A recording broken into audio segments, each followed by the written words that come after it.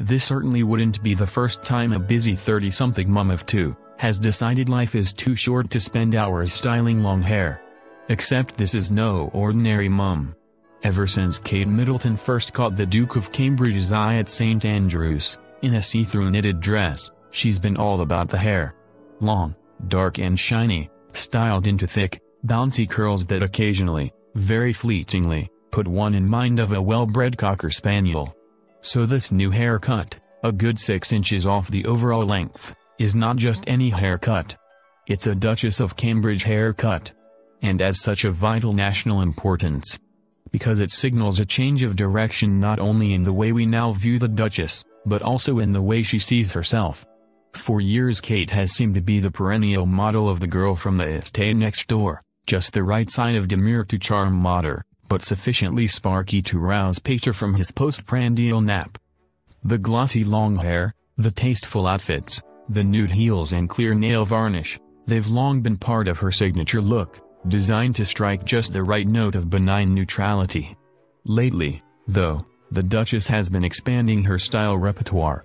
For this year's Chelsea Flower Show she wore her hair off her face, along with a dark green rocka's dress that, by her standards, was positively edgy. At her sister's wedding she looked amazing in Alexander McQueen, and again for Trooping the Color, and again at Ascot. For the opening of the V&A's new exhibition wing she even wore a bold Gucci mini dress, trimmed in racy black and red. This polka dot number we see here is the envy of every woman, Dolce & Gabbana, the epitome of sexy, self-assured Italian fashion. She's even ditched the nude heels, in favor of a much more relaxed, and on-trend, pair of block-heeled sandals. High heels would have been too much, this way she looks stylish but laid back. If there's one woman alive who has the figure to carry off couture, it's Kate. So it's nice to see her embracing a more fashionable look.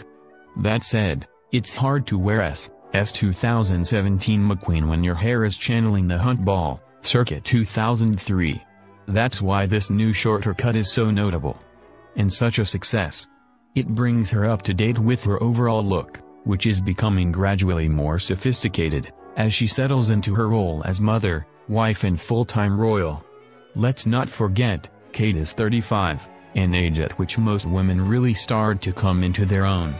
Women this age are at the height of their powers, having overcome the uncertainties of their 20s but as yet unburdened by the stresses and strains of their 40s. This is the magical time when a woman finds her own style, grows in confidence and really begins to understand what she wants out of life. In Kate's case, she's already done a lot of the hard work, married the prince, had two children. Now it's all about shaping the future for herself and her young family. In other words, she's a busy lady. And busy women don't have time for silly girly, flicky flicky hair. They need something feminine but practical. Another inch or two, and I reckon she'll be there.